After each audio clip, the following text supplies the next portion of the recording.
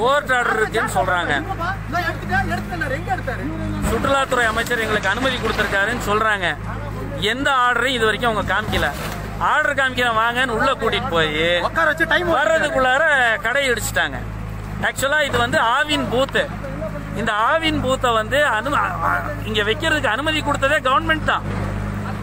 பால்வளத்துறை தான் இதுக்கு வந்து அனுமதி கொடுத்திருக்குது. அன்ஆத்தரைஸ் கடைங்க எடுக்கிறேன்னு சொல்லி கடை. ஆத்தரைஸ் கடையவே இன்னைக்கு இவங்க அத்துமீறி சட்டத்துக்கு புறம்பா இதை எடுத்திருக்காங்க.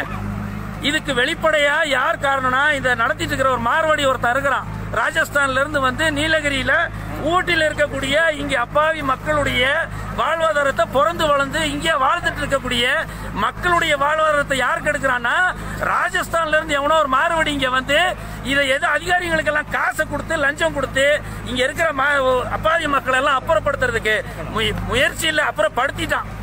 இதுக்கு வந்து முதலமைச்சர் வந்து நிச்சயமா இது ஒரு நியாயமான தீர்வை ஏற்படுத்தணும்.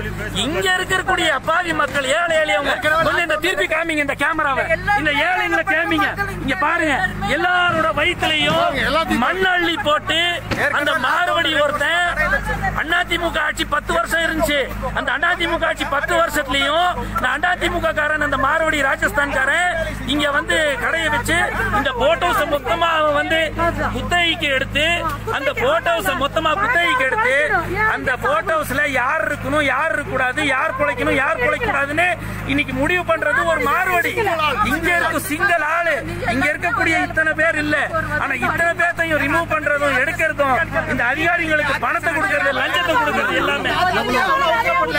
லஞ்சத்தை கொடுக்கறது இந்த மாறுபடி தயவு செய்து இது முதலமைச்சருடைய கவனத்துக்கு போய் இங்க இருக்கக்கூடிய இங்க வாழக்கூடிய இங்க பிறந்த இந்த மண்ணின் மைந்தர்களாகிய எங்களுக்கு ஒரு நியாயமான தீர்வு ஏற்படுத்தணும்னு சொல்லி இந்த பதிவின் மூலமாக தாழ்மையோடு நான் கேட்டுக்கொள்கின்றேன்.